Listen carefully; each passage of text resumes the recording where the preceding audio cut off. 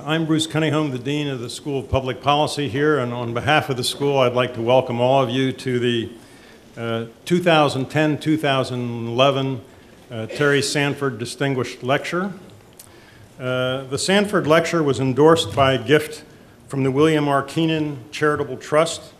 Its purpose is to invite a distinguished person in public life to deliver a formal lecture to the Duke community and also to spend some time with Duke students which our distinguished lecturer has done during a series of meetings throughout the day. Meeting first with uh, the group that works on gridlock, then with the American Grand Strategy Group. Uh, where's Peter? Somewhere here. And, and then with the uh, DeWitt Wallace Center Group.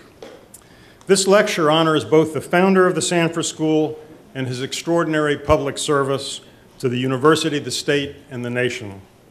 Past Sanford lecturers have included, among others, Shimon Peres, Oscar Arias, Robert McNamara, Yasuhiro Nakasone, Turgut Özal, and Tom Friedman. This year's Sanford Distinguished Lecturer is David Brooks. Born in Toronto, he grew up in New York City in the suburbs of Philadelphia. He graduated from the University of Chicago with a degree in history and began his journalism career as a police reporter for the City News Bureau, a wire service owned jointly by the Chicago Tribune and Sun-Times. He subsequently spent nine years as the Wall Street Journal, at the Wall Street Journal, where he was successively a correspondent based in Brussels covering Russia, the Middle East, South Africa, and European affairs, an editor of the book review section, and the journal's movie critic before becoming editor of its opinion pages. For the last seven years, he's been an op ed columnist for the New York Times. His writing has appeared in the New Yorker, the Washington Post, Forbes, the Public Interest, the Times Literary Supplement, the New Republic, and Commentary, among others. He's also a regular commentator on the evening PBS television news program, The News Hour, and a frequent commentator on National Public Radio and CNN. He's the author of two books, Bobos in Paradise, the new upper class and how they got there, and on Paradise Drive, how we live now and always have in the future tense. At some point along the way, he stopped being only a journalist and became a pundit. His ideas and opinions are sought not because are sought out because he is a keen observer of both human nature and human enterprise. He helps us analyze and understand present day events by putting them in historical and cultural context. It doesn't hurt that he's witty and makes us laugh at ourselves. David Brooks once described himself as a former liberal who, who came to his senses. On the New York Times editorial page, he's pegged, uh, pegged as the conservative voice, but Brooks makes it hard for anyone to categorize him, and he is one of a handful of people in this country who can seriously be characterized as a public intellectual. He has written in support of causes typically associated with a liberal agenda, including gay marriage, gun control, and abortion rights. He was a John McCain supporter, but he wrote of his admiration for Barack Obama's intelligence and urged him to run for president. Brooks' interests are broad, ranging from politics and foreign policy to neuroscience and child development. He's here tonight as the keynote speaker in a new series called Gridlock can our system address America's big problems? Professors David Schanzer, who formerly worked on Capitol Hill, and Don Taylor, who has closely followed and analyzed the progress of health insurance reform on his blog Free for All, launched this initiative because they hope the next generation that goes to Washington, and it may take another generation, can straighten out the mess that we're in. The causes of our current impasse are both personal and systemic Fewer people seem willing to sacrifice for the public good, while distrust of governmental institutions has grown. Americans also tend to be unable or unwilling to understand and accept scientific findings, making it difficult to base policy decisions on facts and evidence. Meanwhile, campaign finance regulations give a huge amount of influence to relatively few people. Our political system rewards ideolog ideological purity over the hard work of compromise and consensus building, and the 24 hour news cycle heightens the role of strident voices on both sides of the political spectrum. While we argue, major problems either go unsolved or continue to get worse. global warming, the deficit, unemployment, spiraling healthcare costs, the various conflicts in Southwest Asia, and massive trade deficits, to name a few. Through lectures such as this one, through courses we teach, conferences we hold, and research projects over the next two years, Gridlock will examine the causes and consequences of our nation's political paralysis.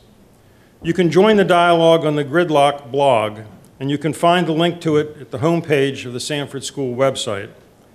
Meanwhile, we look forward to this keynote address that will help us contextualize our current dilemmas and understand the lay of the land. In 2006, David Brooks was a visiting lecturer at Duke and taught a course here at, San at Sanford that our students loved. We're delighted to have him back to talk about politics and culture in the age of Obama. Please give a warm welcome to our Sanford Distinguished Lecturer for 2010-11, David Brooks.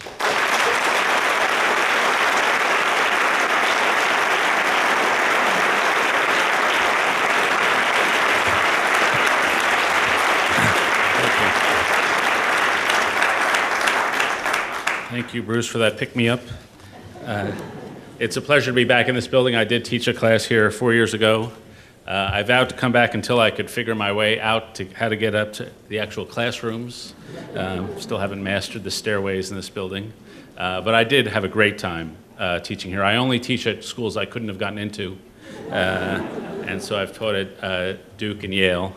Uh, and I hope to move on to other schools I couldn't have gotten into, the ones that rejected me. I did go to the University of Chicago, uh, the school where fun goes to die. Uh, yeah, the other saying about Chicago is, if I can get this right, it's a Baptist school where atheist professors teach Jewish students St. Thomas Aquinas. Uh, so, um, but, so this was a different experience. Uh, got to go to a few basketball games. Uh, thanks to some people here, I got to go to the UNC game this past year. Uh, that was me jumping over the bonfire afterwards. It was actually, I think, thanks to some people here, it was one of the tamest bonfires I've ever seen. I gather you've made up for it in the tailgating department, though, so congratulations for that. Um, uh, and so I'm going to talk about uh, gridlock and uh, politics. Uh, I uh, I thought I was going to be an academic, but went into journalism uh, and sort of defend. I spent a lot of my time translating what academics do into, into uh, newspaper prose. Uh, but I'm glad I went into journalism because of the power of the relationships and personalities of the people involved and how, what power that has and how we're governed and the central destiny of the country. I have a friend who I mentioned earlier today who uh, worked at Johns Hopkins and then went to the State Department. And I asked him the question I ask many people, which is, what have you learned going into government that you didn't know before? And one of the questions I often get, by the way, is that uh, the quality of our military people is much higher than I thought it was, and the quality of our intelligence is actually lower than I thought it was. I get that answer a lot. But this, this fellow said to me, you know, I used to think uh, government was about 75% about personality and relationships, and now I realize it's 98% about personality and relationships. And I do think one of the virtues of being a journalist uh, is to actually interview the people. And you learn the importance of their psychology and the relationships between the people. And I'm going to talk a bit about that. Just one story to illustrate this phenomenon. It was told to me by a guy named Bob Kraft, and I've since confirmed it. And Bob Kraft, for those of you who follow football, is the owner of the New England Patriots. Uh, and he owns a container business, a big successful businessman. And he was part of the delegation going to Russia a few years ago. Uh, and as part of the delegation of business people, he met with Vladimir Putin. And Kraft, because the New England Patriots won, uh, have won the Super Bowl two or three times, was wearing his first Super Bowl ring on his finger at the meeting with then President Putin. And Putin sees the ring and he says to Kraft, you know, that's a beautiful ring. Can I see it for a second? So Kraft takes it off his finger and hands it to Putin. And Putin puts it on his finger, and they're having the meeting. Uh, and they go on, and Putin is gesturing with the ring on his finger. And then in the middle of the uh, meeting, Putin takes off the ring and slips it into his jacket pocket. And so after the meeting, Kraft comes up to him and says, um, uh, Mr. President, uh, you know, I would be honored if I could make you a duplicate ring to that to give to you, but that particular ring has tremendous sentimental value to me. Uh, would you mind if I had it back? And Putin pretended he didn't hear the statement. And so Putin said, I, I, mean, Kraft then went back to the embassy people after the meeting, and he said, I didn't really want to make a fuss. I don't want some big international inf- incident, but could you just send out some feelers and get my ring back? I'll make them another one. And so they sent out the feelers, and they came back to Kraft the next day, and they said, you know, what we think you should do is issue a press release saying you've decided to donate that ring to the Russian people. Uh, and so that's what happened. Uh, and so the first moral of the story is that the world is run by fourth graders. Um, uh, and, but the second moral of the story is never underestimate the importance of the weird things that go on in people's minds, uh, even if they're in positions of high authority. Now, when I took my current job, I was given a good piece of advice by Robert Novak, uh, which is to interview three politicians every day. And I don't always achieve that, but I try. And so I spend a lot of time around politicians and, and, leaders and policymakers. And I can tell you from this experience, they're all emotional freaks of one sort or another. Uh, they have what I call logorrhea dementia, which is they talk so much they drive themselves insane. Um, they're sort of guaranteed to invade your personal space. So if you walk up to a senator, he'll stand way too close to you, put his hand on the back of your head, rub your face. I had dinner with a Republican senator who had his hand on my thigh the whole meal, squeezing. I once, well, this was years ago, I was in the Senate press gallery, and Ted Kennedy and Dan Quayle met in the Senate, and they were friends, and they gave each other big bear hugs, and their faces were like this far apart, and they were laughing and joking and talking, and they stayed hugging, and their hands were rubbing up and down each other's backs, and they were sort of moving there, and I was like, get a room, I don't want to see this. Um, but what they tend to have, some are smart, some are less smart, but what they tend to have is tremendous social antennae. They can go into a room or a turnpike rest stop and they can intuit, or at least think they can intuit, what people are feeling. And if they don't have this level of social skill, they, they manufacture it. I remember once this last election, I was, camp- I was following Mitt Romney around as he was campaigning in New Hampshire, and he was up at a diner and he was campaigning with his five perfect sons bip, chip, rip, sip, dip, and lip. And he, he would go to the tables at the diner and he would say, he would introduce himself to the people at the table, the family, and he would ask them what village in New Hampshire uh, they were from, and he would describe the home he owned in their village. And then he went around uh, the table and he introduces himself to like 40 people. And on the way out, he first names almost everybody he's just met. And so that's a level of social skill that I don't have, and I think many people don't have. Uh, but that's what they have. They have this social skill. Uh, and so I make fun of politicians a lot, and most of the time they deserve it. But the, the brute fact is, most of them are in it for the right reason. The life they lead is actually not that glamorous. Uh, you know, if you fly on the shuttle or if you fly out of Washington on Thursday nights when Congress is letting out, you fly the last plane, you get on the plane at 10 or 11, There'll be eight members of a delegation going to California, going to New York. You get in at two in the morning. They've probably got another three or four hour drive to get home.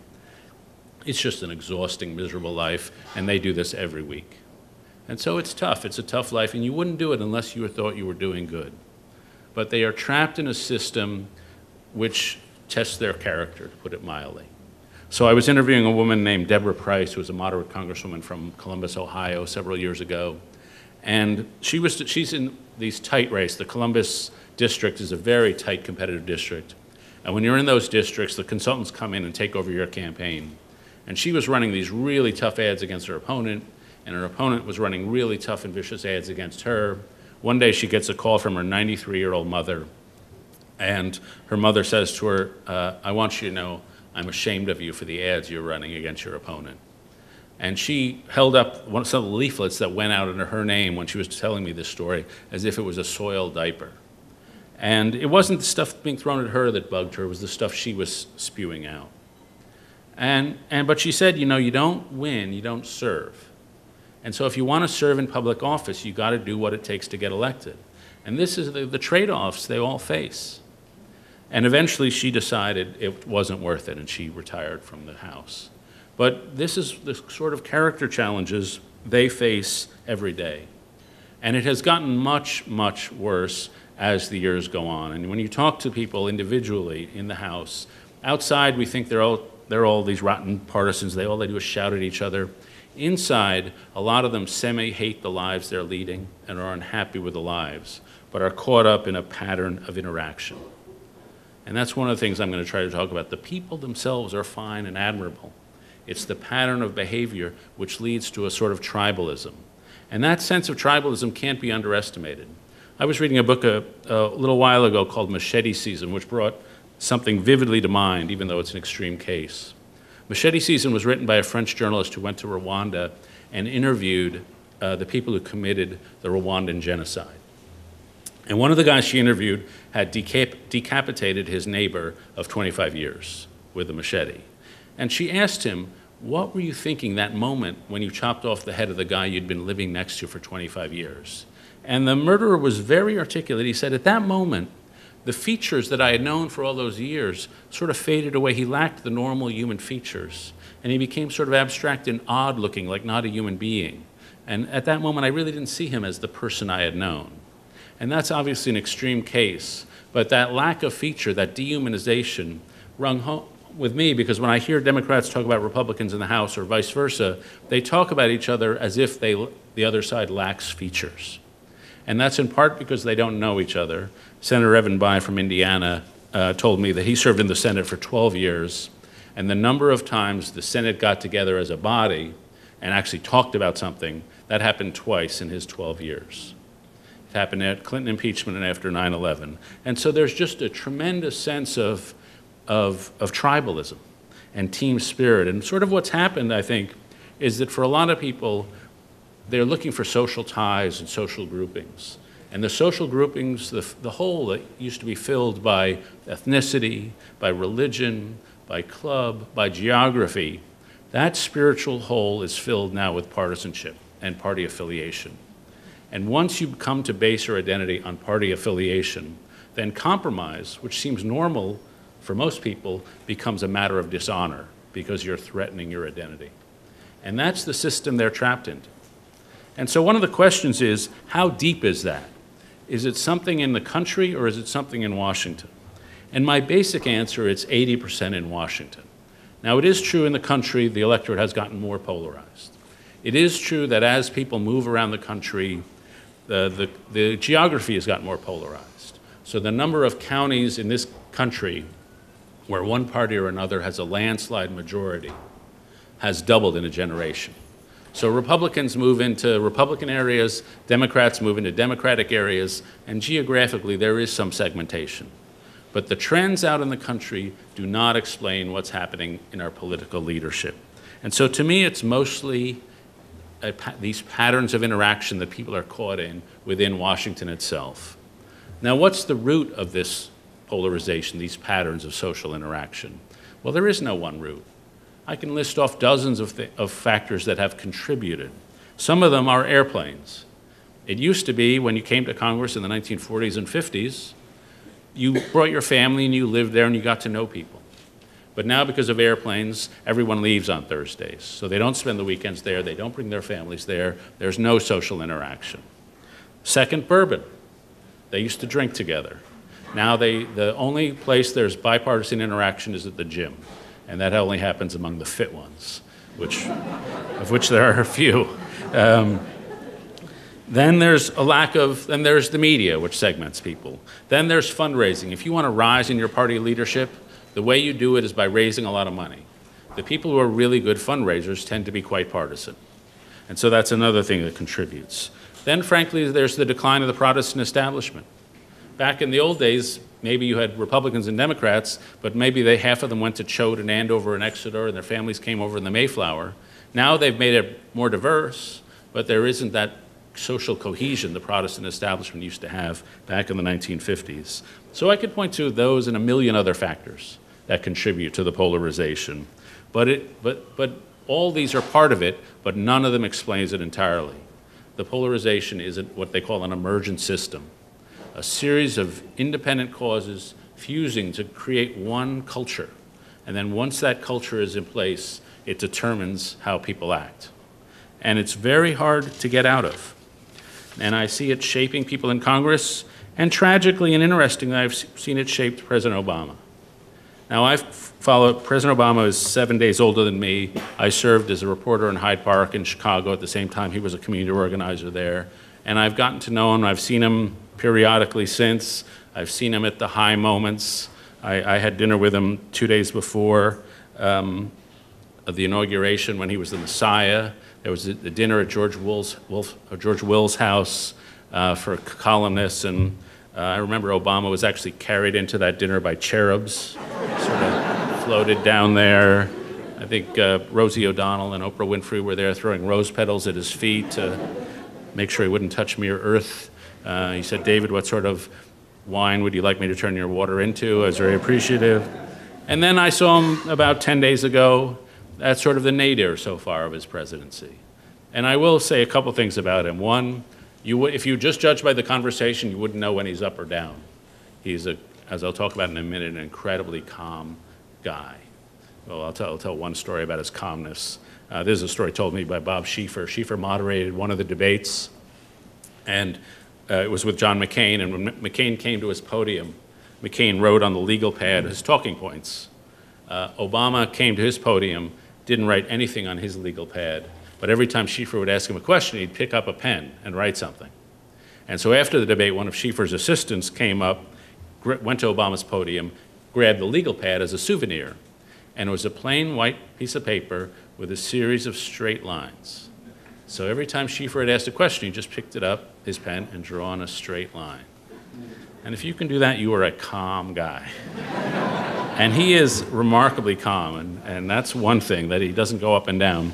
The second thing is, and I'm like six notches to his right, I talk to him a fair bit. I talk to somebody around him almost every single day. And I would say, whether you agree with him or not, my belief is he is conducting himself in the presidency the way one would want a president to conduct himself with integrity, with openness, with the general interest of the country at heart. And so I, I've followed him and I personally admire him a great deal. And really, nothing or very little I've heard about in the past two years has really caused me to diminish uh, that personal admiration for the guy. Uh, he is personally a nice person, uh, and there's some code of niceness around him. Usually, when you attack a or criticize a candidate or a president or a politician, their aides call you the next morning uh, and they scream at you and tell you you're a complete and total idiot. Uh, with the Obama people, they call you the next morning and they say, David, we uh, really like you, we respect your work. It's so sad you're a complete and total idiot. Uh, but, but that, that makes you feel better. Um, so you sort of respect the way he's organized things. Uh, he has a strong intellect. That's obvious. The story I tell about that, which was a sort of a galvanizing moment for me. I was interviewing him one day in the early in the campaign, and I I was get, I was we were talking about Lebanon, and I was sort of done. Uh, but I had some. He hadn't cut me off, so I kept asking questions. And out of the blue, I asked, um, "Have you ever read Reinhold Niebuhr, 1950s theologian?" He said, "Yeah, I've read Niebuhr." And I said, "Well, what does Niebuhr mean to you?" And he goes on for the next 20 minutes and describes a perfect summary of Reinhold Niebuhr's theology, which is a very complicated theology about using power while it corrupts you. And as Chris Matthews would say, that sent a tingle up my leg. Uh, it's impressive because it means he's not only reading for policy, he's reading for personal depth. And I think that that sometimes shows his ultimate trait, frankly, is self confidence. Uh, I'm convinced in 80 years the word Obama will be the unit of measure for self confidence. So we'll say, oh, he has 180 Obamas, he has 200 Obamas. Um, people who become president tend to be self confident, but he is off the charts. And the things he says in private sort of are eye popping. Some of them get out in public. One of them was reported in the New Yorker, and it was Obama talking to an aide, his political advisor, and he said to the guy, You know, I'm a better speechwriter than any of my speechwriters. I know more about policy in any particular policy area than any of my policy analysts, and I'm a better political analyst than any of you political analysts. And if you can talk that way, I'd say you have a high degree of self confidence. um, and so he has that. And this self confidence, I think, in the course of this White House, has had good sides and bad sides. The good side is a genuine culture of debate. And I think he really came in, as President Bush came in, really as Bush, in Bush's phrase, wanting to change the tone. I think Obama's perfect Washington. He's liberal, he knows that. He's sitting around with conservatives. They're looking over the data, they're choosing good policies and bad policies. and they have a seminar. Obama loves the seminar. He's hired very smart people thinking he could have an administration by disciplined seminar, not like Clinton sprawling seminar, but Obama's a disciplined, organized seminar. And so half the people he hired come from Yale, half come from Harvard. Uh, if we're attacked by terrorists during the Harvard Yale game, we're screwed because they'll all be up there. Um, and he has people who are phenomenally good arguers. He had, in, you know, one of the people who's leaving now is Larry Summers, a very intellectually imposing person. Another person, his chief of staff, was intellectually imposing, Rahm Emanuel, if somewhat uh, profane sometimes. Obama tells a good joke about Rahm, which was that Rahm lost his middle finger in a deli accident when he was slicing meat as a young man. And Obama jokes that when Rahm lost his middle finger, he was rendered mute, uh, which is. But, you know, the, the good side to that was they, they really have arguments that are intended to go beyond ideological thinking and actually dwell down on the evidence. And when you present him with a counter argument, uh, when you're interviewing him, he's perfectly aware of your argument, he's aware of the evidence, and it's impressive. Uh, I remember there was a debate over uh, whether to release torture memos, and they literally sat in Rahm's office, and the people on one side had, had a few minutes to present their case, the people on the other side had a few minutes. They, they debated for an hour or so, and then Obama rendered a judgment. And I think ideally that's the way he'd like government to be. Uh, and so that, that, if you could have a government like that, I really think you would uh, change some of the tone, diffuse some of the ideological rancor which poisons the politics. The problem, of course, is politics isn't like that. Uh, government isn't often like that, and much of the blame goes to the interest groups, much of it goes to Republicans, but some of it goes to Obama. And why Obama is a tragic case is because I think he helped create a uh, situation which exacerbated partisanship. And I think the, the things that caused him to do that grow out of the good sides, in particular the self confidence. He came in and, thought, and tried to do too much all at once, and I think set a lot of people back. So, in the first six months of the administration, there were 131 major initiatives. This was at a time when the administration was barely staffed, woefully understaffed. They had a great deal of trouble filling top position jobs because it turns out nobody in America actually pays taxes. And so they would offer people jobs, and they say, I'd love to do that job, but you should be aware I have a little problem. I didn't pay my taxes for a couple decades, but it's really not an issue. And then they'd offer to somebody else, and they say, Oh, I'd love to do that, but I have a little tax issue you should be aware of. And so they had a great deal of trouble. I remember I went to interview Secretary Geithner in the first days when he's, he's organizing the uh, TARP and the stress tests and all that. And usually, when you inter- interview the Treasury Secretary, you give your ID to the guard in the Treasury building, and a sort of a team of factotums take you back to the Secretary's office. This time there was no factotums because they hadn't been hired yet. The guard tells me to go back to room 232. I knock on the door. Geithner's in there making coffee, sweeping the floor, trying to reorganize the economy. And that hyperactivity grew out of the self confidence, the belief that we could do everything all at once. Then the decision to spend too much grew out of a sense that we got to do a lot all at once. They inherited a terrible fiscal situation, but they added $9.8 trillion in new debt over the next nine years. Uh, by 2019, the interest payments on the debt alone will pass $800 billion a year. And that's simply unaffordable.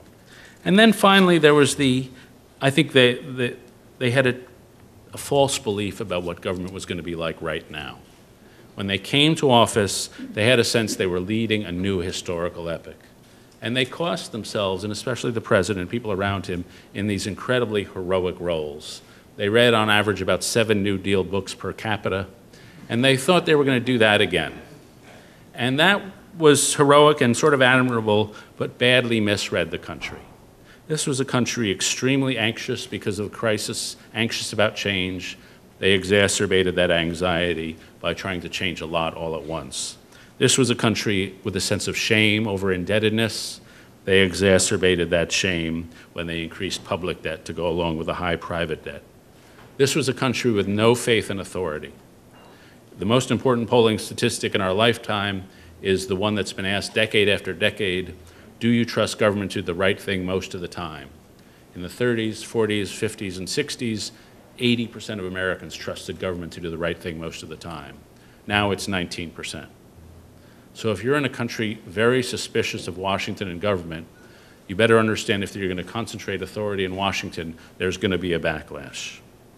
This was a country worried about jobs. They spent a lot of time on health care. So I think in their overconfidence, they misread the country and they, they prompted this backlash. And this backlash took, in some sense, an ideological form.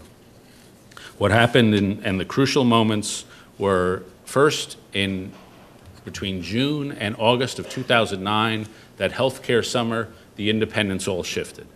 So the number of independents who thought Obama was too liberal rose by 22 percentage points, and the number of independents who supported the Republicans over the Democrats also rose by 20 percentage points. And the swing of those independents really shifted uh, the Midwest in this last election. If you look at where Republicans picked up gains, it's oh, Indiana, Ohio, over into Pennsylvania, Michigan, Iowa. The entire, basically, the, the independent Midwest shifted away from the president. The second thing they did by misreading the country is stoke up this Tea Party. Now, my one sentence explanation of the Tea Party is that they use Abbie Hoffman means to achieve Norman Rockwell ends. Uh, and what I mean by that is when you look at the America they envision, it's sort of a, a typical traditional America. And if you had to take a biography of a uh, typical Tea Party member, he would be the guy who went to high school, studied hard when other people were not, got into college. Maybe in college he wanted to major in history, uh, but he had to make a living, so he majored in accounting. He took a job, maybe doesn't love his job, but he's supporting his family. He bought a house. He didn't buy a house he couldn't afford with some super duper mortgage. He bought a responsible house he could afford. In other words, all through his life, he played by the rules, and he expects people who play by the rules to be rewarded. But when he looks around what's happened over the last two years, he, see, he sees people who didn't play by the rules, whether on Wall Street or down the block, being rewarded while he's getting the bill. And this makes him angry. And the number of Tea Party people who have told me this story I bought a house, the mortgage is a pain, but I'm paying it. Somebody else in my neighborhood bought a house, the, more, the value of the house went underwater, and they left. And that, there's a sense that the economic values of this country are being undermined. And that sort of riffles through the movement. And I have some sympathy with that. What I have less sympathy for is the means they used to go about it, which is, in, off, in many cases, the narcissism of partisanship the belief that you get to choose the facts that support your point of view or choose the fictions that support your point of view. You get to imagine that your opponents are uniquely evil. You get to imagine that America was this libertarian wonderland until this foreigner, Barack Obama, came along and turned us into France. It's a twisting of, of fact to support the narcissism of your own point of view. And so some of the procedures and means that are used, I can have less sympathy for. But the upshot is that we have after Obama, who promised and wanted to be this transcendent post-partisan figure, we now are in a world with hyper-partisanship worse than ever before. We've had two, I guess maybe three presidents in a row who've set out intentionally to change the tone in Washington, and we've had three presidents in a row who failed at it, and it's become worse. Uh, and so now we enter a new era with the post-election. Uh, and so we're and, and this era is in one sense very dark and in one sense very light. I'll start with the, the, the dark parts. What we're going to see over the next two years, most people seem to think is, is stagnation. I think we'll see some compromise on some little things, taxes, maybe some education bills, uh, infrastructure. There'll be some compromises because everyone has an incentive. But on the fundamental things, there's going to be very little change.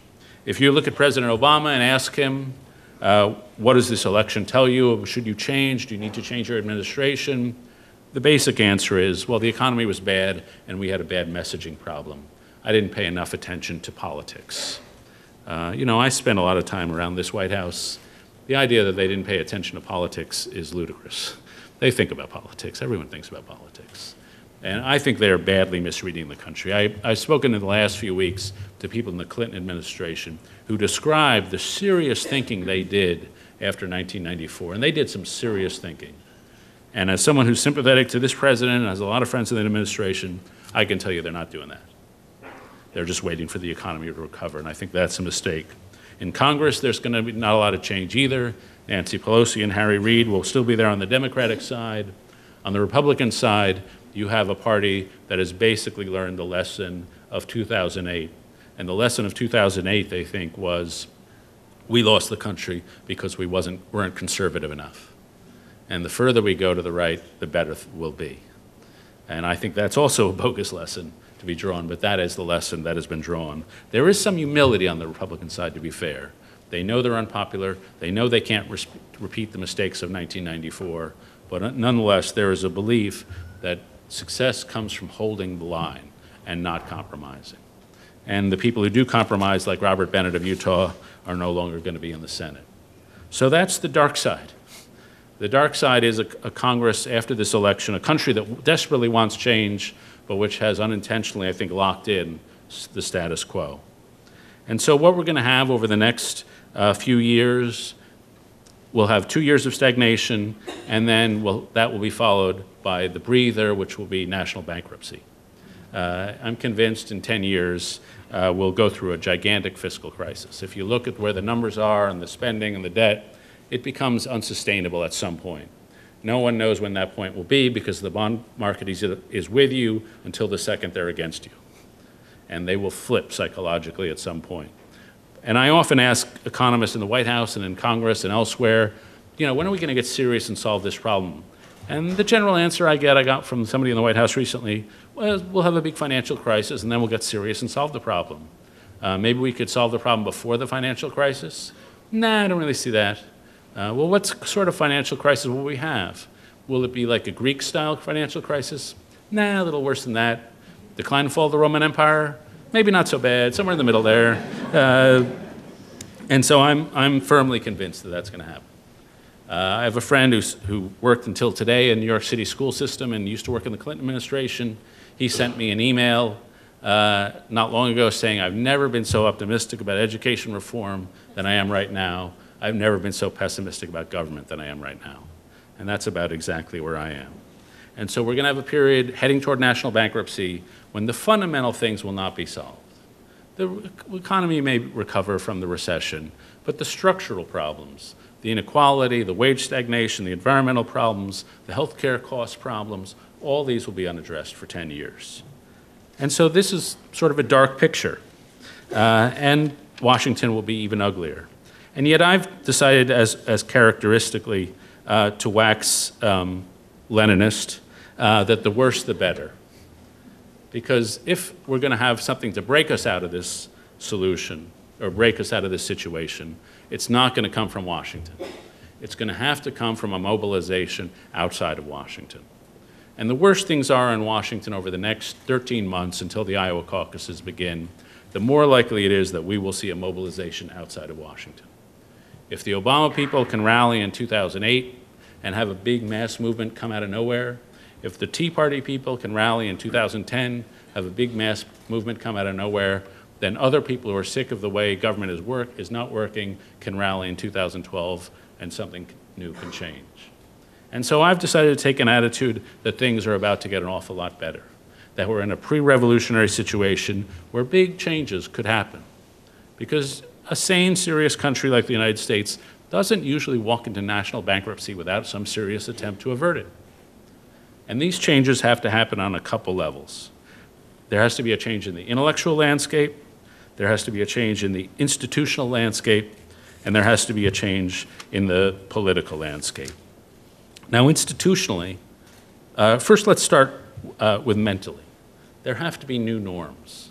You know, I was telling, I think, Bruce earlier today, or I told some students earlier today, I was reading Churchill's memoirs. And he has a great memoir of his early childhood. And one of the episodes he describes in this memoir is of a, uh, of a, a dinner party he went to where he met an ambassador who'd been in London from a foreign country for 25 years. And this dinner party took place in 1895. And Churchill said, You've been here 25 years. What have you learned over that period? And the ambassador said, In the time I've been here, absolutely everything has changed. When I got here, the same 400 aristocratic families owned the property and they controlled the political system. Now, 25 years later, they don't. You have a much more democratic country and a much more industrial and affluent country. You've essentially had the French Revolution spread over 25 years without spilling a drop of blood. And that's the sort of political change I think we should find tremendously attractive. It's a gradual, step by step process deep within the society where both parties contribute. And they contribute through a process of competition, but constructive competition. There was, party in the, there was partisanship in the Victorian era, but it wasn't the partisanship of either or. It was, it was taking terms and where both parties are bringing their gifts to the table. And we don't have that sort of constructive competition. We have a more poisonous competition. Then there has to be structural changes in Washington. We need to change the schedules so that they don't only vote Monday through Thursday, they stick around for the weekend and actually socialize and get to know each other. There have to be uh, mental changes. There has to be ridicule for people who live in the cocoons liberals who live in the MSNBC cocoon, conservatives who live in the Fox cocoon. There has to be uh, institutional changes through the society. If you're a president, one of the things you learn, and this is something President Obama has learned, something President Bush learned, you come into office thinking you can do change. You get into office and realize uh, how little change you can actually do. I asked President Bush at the end of his term, what's one, one of the things you learned? And he said there's a lot of passive aggressive behavior in government. You give an order, nobody follows it. And that's something President Obama has learned. And if you're going to have change, you have to have big institutions in society helping you. And one of the things President Obama has complained about is if I do the straight liberal thing, there are huge organizations, the unions, the public sector unions, the liberal interest groups, the donors, they'll be with me at my back. If I try to break out of the partisan orthodoxy and do something in the middle, there's nobody. There are no institutions there to help me. And so there have to be institutions there built up to support non-orthodox points of view. And then finally, there have to be mental changes, and this is the most important. Why are centrists so underrepresented in American politics when they are not un underrepresented in the country? Well, part of it has to do with redistricting and all that, but the main thing is intellectual. Moderates lose because they have no belief system. If you go to a liberal dinner, there's academics and think tankers to give you policy ideas. You go to a conservative dinner, there are academics and think tankers to give you policy ideas. If you go to a centrist dinner, it's just a bunch of lobbyists. There are no ideas in the center of American life. And to me, that's a tragedy because I think there's a tradition there waiting to be reborn to give intellectual coherence to people who are not orthodox liberals or conservatives. To put it very simply, and I hesitate to do that in this building, but there are two parties in this country, but there are really three political traditions. There's a liberal tradition that believes in using government to enhance equality. There's a conservative tradition that believes in limited government to enhance freedom. And there is a another tradition which believes in limited but energetic government to enhance social mobility.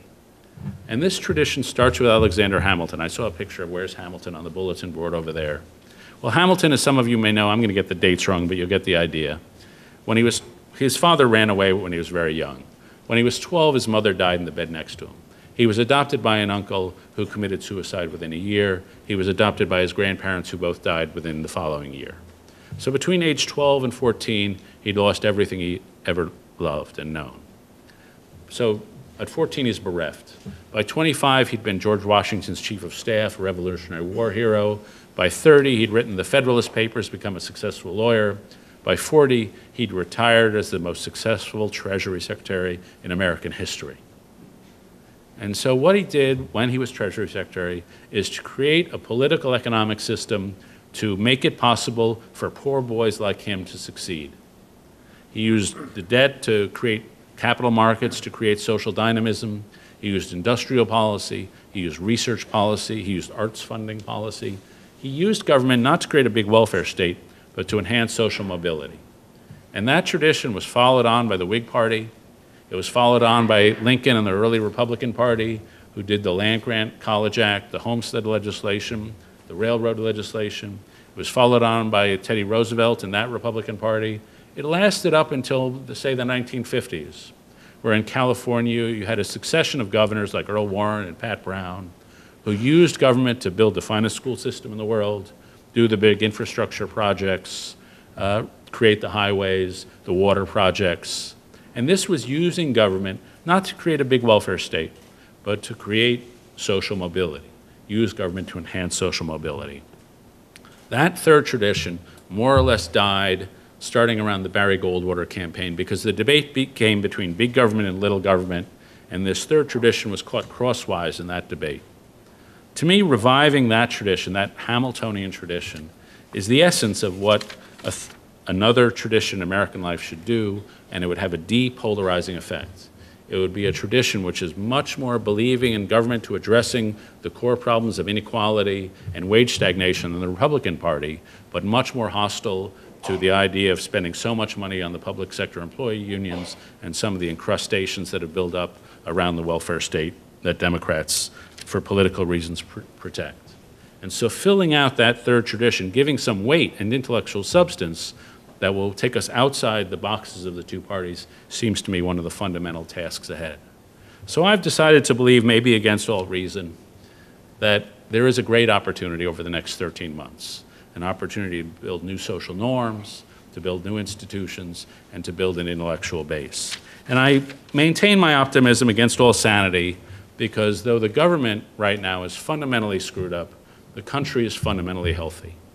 You spend a day like today, I did it with the Duke students, uh, and you come away as you do in all student bodies, just tremendously impressed. And that impression is not only fortified by meeting people, it's fortified by data. And I know in academia one likes data. Uh, but if you look at the social indicators that went south in the 1960s and 70s, they're all heading in the right direction right now. And it's because of this generation of people under 30. Teenage pregnancy is down by a third, abortion rates are down by a third, domestic violence is down by 50%, violent crime is down by 70%. This is the most wholesome and responsible generation in US history. They're all going to have the biggest midlife crisis in human history in about 10 years. But until that moment, it's really a fortifying generation. And then finally, you just look at the, uh, the eternal dynamism of American life. People, Europeans came to these shores 400 years ago, and they saw a forest that stretched on for thousands of miles. They saw flocks of geese so big that it took them 45 minutes to take off, and they had two thoughts. The thought was that first, God's plan for humanity would be completed on this continent, and second, that they could get phenomenally rich in the process. Uh, and this moral materialism has infused American culture and continues to. And one sees it around every day. You see it in Ben and Jerry's ice cream, the ice cream company with its own foreign policy. I joke in one of my books that Ben and Jerry should make a pacifist toothpaste. Doesn't kill germs, just ask them to leave. Uh, be a big seller. You see it in the uh, high minded grocery stores that you have around here um, Trader Joe's, Whole Foods, these progressive grocery stores where all the cashiers look like they're on loan from Amnesty International. Um, my favorite section in the Whole Foods is the snack food section, uh, which uh, they couldn't sell pretzels and potato chips, that would be vulgar. Uh, so they sell these seaweed based snacks. Uh, in my house, we buy something called Veggie Booty with kale which is for kids who come home and say, Mom, Mom, I want a snack that'll help prevent colon rectal cancer. Big, big seller. Uh, and then you see it, you know, I always say if you really want to get the optimistic soul of America, you go to a Home Depot and watch an American man buy a barbecue grill, because that's when he's most emotionally exposed. Uh, and he's going to buy the big 942 inch grill in case he gets the urge to roast a bison. And he, wheels it out to his Yukon XL, and he's out there in one of the big box malls.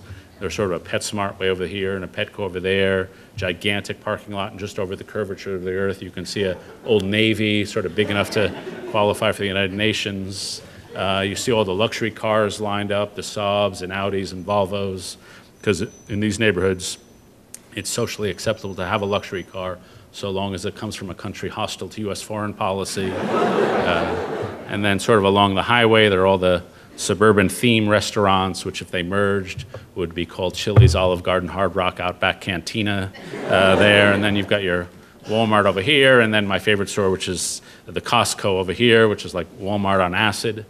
Uh, it's here you can get your bags of 60 pounds of tater tots, uh, uh, 120 pound boxes of detergent, uh, 6,000 Q tips in a container, which is 12,000 swabs because there's one at either end. I always go to these stores and say, you know, who comes here shopping for condoms?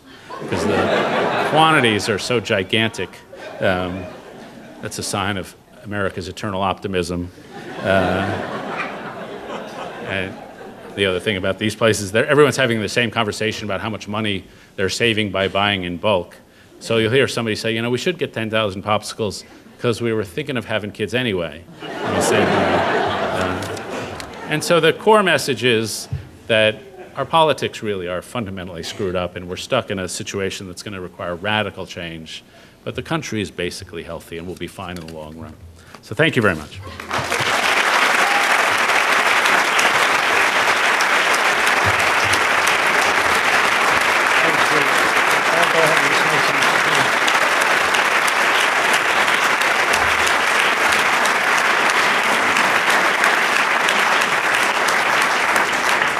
We have uh, a mic upstairs. Is there one downstairs? There should be one. Or is there not a mic downstairs? Is it right there? Okay, there's a mic upstairs and downstairs. And if we could ask you to line up, we'll go back and forth from top to bottom. Uh, We'll take questions. We have some time here. But we ask that your questions be questions, that they not turn into expensive monologues. because Most of us are here to listen to what they have to say. So we can begin with this gentleman here. Can you hear me? Yep. Okay. Uh, Thanks for your comments, Mr. Brooks. Uh, I just wanted to start my question, uh, and it, it covers your last point where you said that um, the country's generally in a good, good condition. Uh, Spock, who you know from Star Trek, uh, said of the planet Ardana, uh, in which rulers lived in the clouds in luxury above miners who toiled below in I misery. remember that episode, yes. He said, This troubled planet is a place of the most violent contrast. Those that receive the rewards are totally separate from those who shoulder the burdens. It is not a wise leadership. So, my question is why is income inequality the worst in the United States now than it was uh, last time before the Great Depression, uh, and has particularly been bad since 1980? Um, uh, since when the richest 1% of Americans uh, account for 25% of uh, the income growth since 1980? And uh, what can Republicans in Congress now do to address that situation? And my second question is just a brief comment. Um, Iraq was listed as the most dangerous place for journalists in the world. Um, it seems like the United States should be at least in the top five, given how Octavia Nasr, Helen Thomas, Ray Sanchez, Juan Williams, and Keith Olbermann have all been reprimanded for things that they've done as journalists. Um, what is your opinion on the influence of corporate America on the independence, credibility, and sustainability of the mainstream media? That's Thanks. three 45 minute questions right there. Um, first, on the journalists, um, I'm willing to tolerate offensive speech by the people I don't agree with. If, I'm willing to give them all a pass, basically. Uh, I, I think we've gotten into the, into the tendency, for some reason, it's become fine management for people in journalistic business to uh, fire people. The idea is you got to act quickly. Somehow the message became you got to get out in front of the story. And we now have a hair trigger firing technique. Uh, uh, you know, a lot of people say stupid things. A lot of people who fill microphones up for hours a day say stupid things. I'm for maximum feasible tolerance of anything. Uh, just on that. That was the easiest of your questions. The next one, and maybe the last one I'll talk about, is inequality. It is, without question, uh, inequality has magnified around the world. Why has it happened? It's, and it's happened worse here than everywhere else, just about, well, of, of comparable nations. Why has it happened? Well, some of them are obvious. The, uh, uh, the increasing work, the increasing education premium. And to me, what's troubling is not only here income inequality, but social inequality. We've always had some inequality in the country, but if you grew up in a family in 1964 without a high school degree, uh, I mean, without a college degree and with a college degree, basically your families were similar. The divorce rates were similar, the voting rates were similar, your uh, engagement in your community was similar. That's no longer true. So people with college degrees have half the divorce rates as people with high school degrees. People with college degrees have much, much, much lower children out of wedlock rates. People with college degrees have much higher voting rates. Interestingly, Robert Putnam is, at Harvard has done studies, much, much higher levels of social distrust among people with high school degrees than college degrees. So we're not, we're talking about income inequality, and that's part of it, but we're also talking about pervasive social and mental inequality.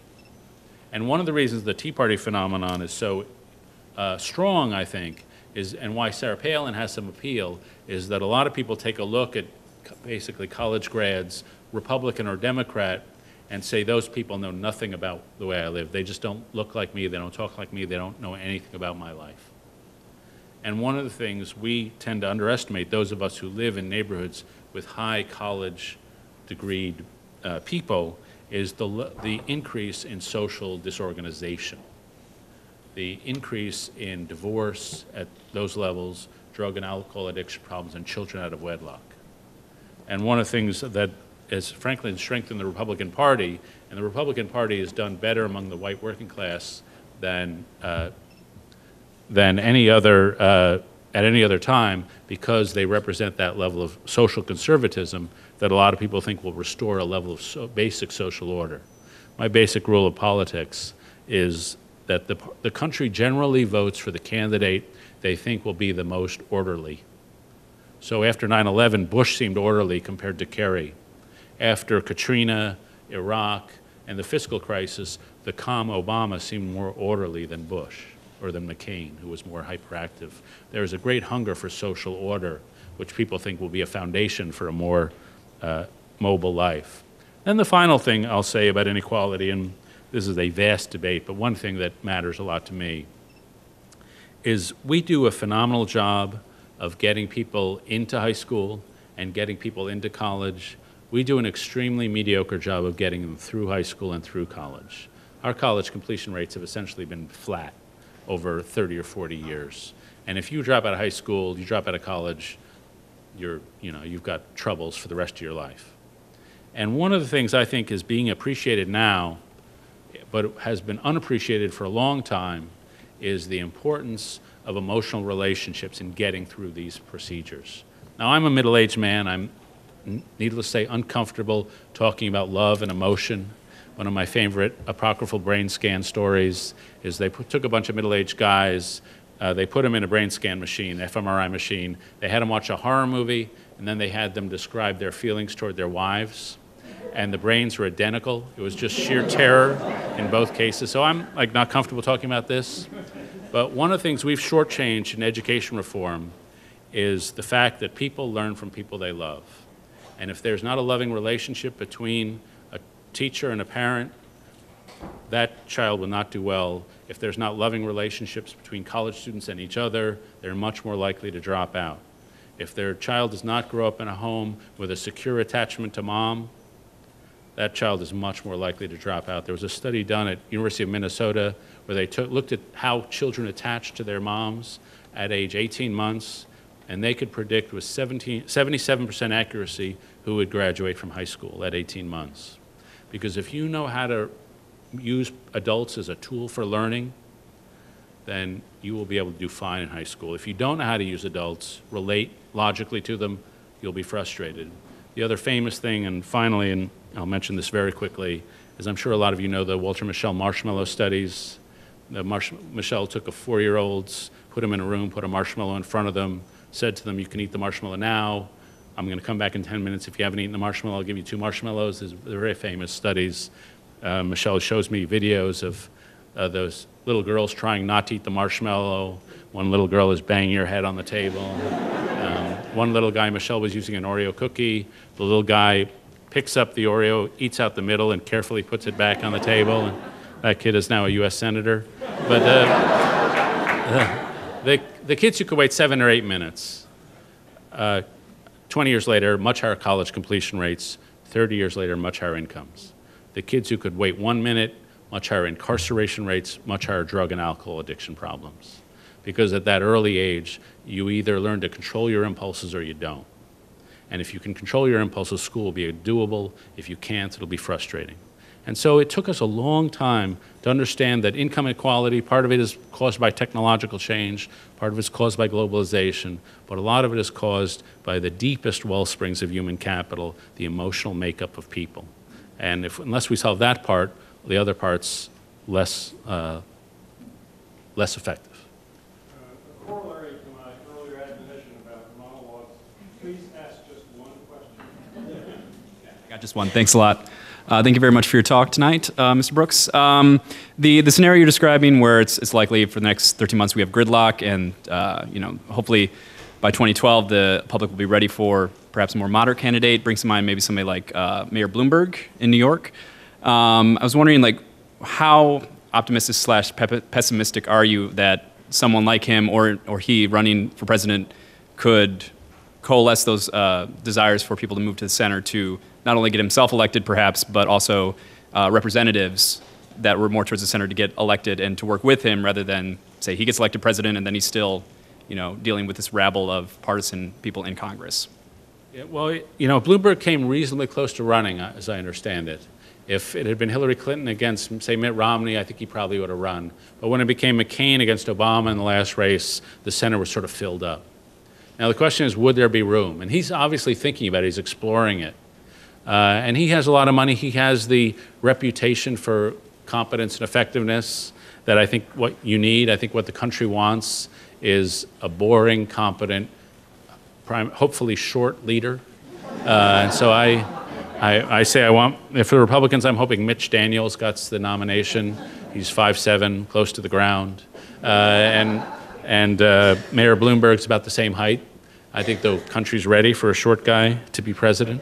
Uh, I don't know why I'm obsessed with this. Uh, by the way, on this, and I love these social science statistics, and this is a, a uh, detour, but uh, we know from online dating studies that a guy who's five foot six can get as many date offers from women as a guy who's six foot, so long as he makes $172,000 a year more.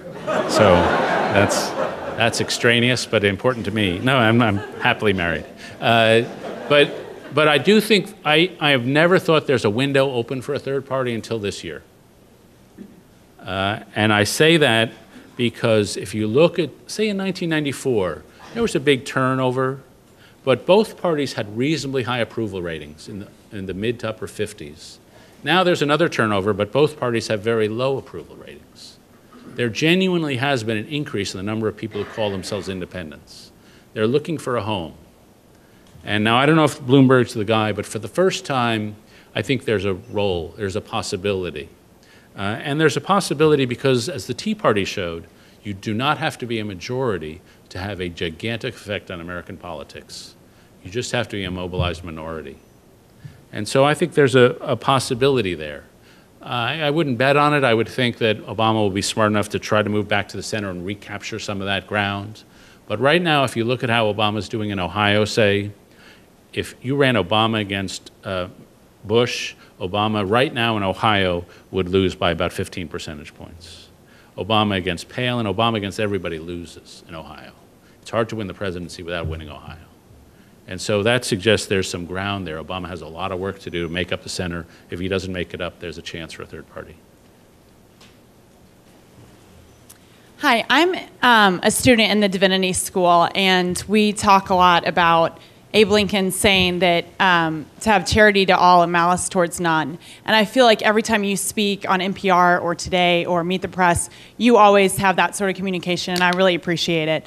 Um, in a former life, I was a political consultant for four years in DC, and I was a part of the uh, defacing, if you will. Um, I was involved, I feel like, in a lot of that. How can we get people to talk, communicate more with each other the way that you communicate to a greater audience? And I mean, is there any way to do that? Well, it's a, it's a question of what's acceptable and what's not acceptable. If uh, people are applauded for, you know, say, uh, I don't want to, I'm thinking of many examples, but if people are applauded for uh, imagining that Barack Obama is a socialist or the Tea Party people are a bunch of racists, then they'll be encouraged. I mean, it's like Pavlov. Uh, and so it's a question of changing social norms. And one of the things that's been frustrating is that the country is essentially in the middle, but we have a false view of the country because of the media and because of what's, what's rewarded in the media business. And people in the media business are rewarded for A, filling the screen, and B, catering to a relatively small audience. So I told some students earlier today, Fox News has huge ratings, but Morris Fiorina at Stanford points out that more Americans own, uh, own ferrets than watch Fox News. and so there are there are like three or four million ferret owners in the country, and maybe O'Reilly gets 1.5 million viewers a night. And so there's just huge amounts of people who are unrepresented by the media, but the, because of the way MSNBC and Fox are, they inculcate certain patterns of communication. And so it, it's mostly up to social norms. The second thing I do think we could do is, is increase social interchange. I'm for raft trips. Take Republicans and Democrats, take them on raft trips. Uh, because, you know, I, I go for, I, I have a very dumb policy of interviewing one Democrat for one Republican. I just go from office to office. And I can tell you they tell the most ridiculous stories about each other. Uh, and they just don't know. And I, I sort of feel if they got to know each other, drinking or raft trip, whatever, some of the stupidity would fade away. But that's a tall order. Hi, thanks, Mr. Brooks, for coming. I've long grown up with you and Mark Shields on my Friday afternoons. Um, I had a question. You mentioned that instead of this poisonous partisanship, um, cultivating a uh, culture of uh, constructive competition between the parties. Um, so my question to you is, what are some concrete steps that we can create this culture, and who should be the leader of it? Does it need to be President Obama? Does it need to come from Congress? How do we create that?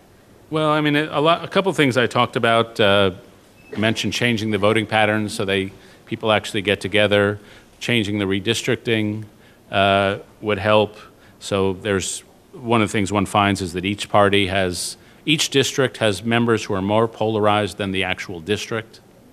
Uh, and I do think, I, as I say, there's not a legislative fix. Gerrymandering won't do it. I don't think campaign finance reform will do it. People are caught in in these social tribal cycles. Uh, and it will take leadership. Uh, it takes someone saying, uh, I'll take a hit from my party uh, to do something that crosses uh, to the other party. And that's actually very hard to do. Politics is a team sport. And one of the hardest things to do is to say and do things that member of, members of your team think are cowardice. I remember I went in to see Chuck Hagel was senator from Nebraska. And I remember I went in to interview him one day when he had come out more or less against the war in Iraq. It was about 2005, 2006. And the Democrats had taken out front full page ads in the New York Times with Chuck Hagel's face with his words criticizing Bush's handling of the war. And so the Democrats were using this Republican senator as a tool to win their election struggle in 2006. Well, it's very hard to be Chuck Hagel that day. And it requires a, a tradition of people willing to do that. Uh, Daniel Patrick Moynihan, uh, you know, worked for President Johnson and then worked for President Nixon and took a lot of crap from people at Harvard. Uh, and yet he was willing to do it. This, the other thing that comes to mind with Moynihan, again, I, it's not legislative, it's mental and attitudinal. Moynihan had a great phrase, which I quote all the time, which is the central conservative truth is that culture matters most. The central liberal truth is that government can change culture. When you have an attitude like that, you have an attitude that each side brings something to the table. The Republicans bring a admiration for the free society and dynamism. The liberals bring an admiration for, for equality. Uh, and these, both these things are sort of parts of the truth. And that basic attitude is something I would say is largely missing in the more totalistic attitudes that one finds on Capitol Hill. So again, uh, it's not like pieces of legislation we can change. It takes changes in attitude, mentality, and social norms. Mr. Brooks, you mentioned the wave in 2008 for Obama, the wave in 2010 for the Tea Party, and the hope for a wave before a financial crisis, of a third way. It's pretty clear that there were precipitating events to both the 2008 wave and the 2010 wave. What sort of precipitating event needs to occur before the a, a financial crisis, like you're thinking, in order to encourage such a wave? Right. Well, the precipitating events would be, well, A, a hiccup in the bond market. We're constantly selling bonds, and they, at, at the moment, there's people who want to buy them, but that doesn't, doesn't necessarily mean that's going to happen. The second thing, I think, is there's a possibility, and nobody knows the answer to this, that we will have a much longer recession than we think. And that this, if you look at the aftermaths of financial crisis, you tend to get six, eight years. And if continually we see unemployment rates in the eights or nines, then what, what you see is this buildup of frustration. And that buildup cumulatively can turn very sour. The late 30s were not a great period for American culture, but it, can, it might be able to turn in a different way depending on leadership. So it may be a cumulative effect of seeing the fiscal crisis, anxiety about China and India, which is pervasive, and then a sense that the jobs aren't coming back. Uh, you know, the, there could be worse things, God knows, that could happen. Uh, but, but you don't need much because the, the attitudes of the country are different than the attitudes before. I mentioned the level of cynicism in the country. That really is a change from, a declining change for the past 20 years. Um, as somebody, okay. uh, as somebody whose Facebook politics line says passionately moderate and moderately passionate, I'm very interested and intrigued by your optimism that centrists um, could play a larger role than they seem to be right now. And I think for people like me who are not um, identified with a party, part of what turns us off is the partisanship. And as you said, to, uh, to move high in the party, you have to be very good at fundraising. And what seems to make you good at fundraising is the games of partisanship and sending out fundraising letters that vilify the other side. If there were to be this sort of groundswell movement, um, like what happened with Obama in 08 and the Tea Party in 2010 that would be more centrist. One thing that seems to be different is that both of those had sympathetic media. So there were media who were sometimes notoriously sympathetic to Obama and also media that have been very supportive of the Tea Party. And I'm just wondering what sorts of, of media might um, also be conjoined with a more centrist view um, and how you would also sort of overcome these fundraising questions and, and things that have sort of pushed the power centers to the left and to the right. I'm imagining a rally of 200,000 NPR listeners and, you know, uh, really fair-minded people. Uh, we could be wrong, but we think we're right. Uh, we're sort of ambivalent for this, but we're sort of. Um, I, I, we're to Shields and I will do a, a segment one day, and people will just come out of their living rooms and. Uh, no, it is a. It, I mean, it sort of is a problem, uh, but you know, there. I would say, the good news is if you went to a think tank. Uh, in, uh, in Washington, and I don't care if it's a liberal think tank or a conservative think tank, and you said, what do we need to do to, can you hammer out a budget deal that both parties could agree on? I don't care what think tank you could walk into, they'd hammer it out in five minutes. People basically know what needs to be done. We need to raise taxes, we need to means test entitlements. Some people want a VAT tax, some people want some other uh, gas tax. Basically, the experts are, could hammer it out in five minutes. The substance is, in, it's like the Middle East peace process. Everyone basically knows where the end result is going to be. The problem is no one knows the avenue to get there. And so if someone came out and said, I am going to have a, uh, a tax bill, and we're going to tax employee health care benefits, we're probably going to have to put on a sales tax, we're probably going to have to cut Medicare benefits for the affluent, we're probably going to have to raise the retirement age, we're probably going to have to cut the budget, uh, the defense budget a bit. If somebody came out and said that, you would have a thousand policy wonks marching down K Street in joyous rapture. So that's not the problem. The media is there. The problem is would the American people be there? If you follow the Republican campaigns uh, this year, it was we must cut spending and we must restore the $400 million Obama cut from the Medicare budget. You can't be for both those things. And they did that because they think that's where the American people are. Now, the question is are the American people really there? And I think that's a much more complicated issue than it used to be. If you look at what's happening in Britain, you have a conservative government doing essentially, I think, what needs to be done raising taxes and cutting spending. And their approval ratings are actually doing fine. You go to New Jersey, you've got a guy, Chris Christie, doing some serious spending cuts. He was elected with 49% of the vote. His approval rating is now 57% of the vote. The people in New Jersey understand what needs to be done. Do the people around the country understand that? I'm not sure they're there yet. But every week, I think more people are. And as the crisis becomes more obvious, more people are willing to say, yes, I'll take my hit as long as everybody takes the hit.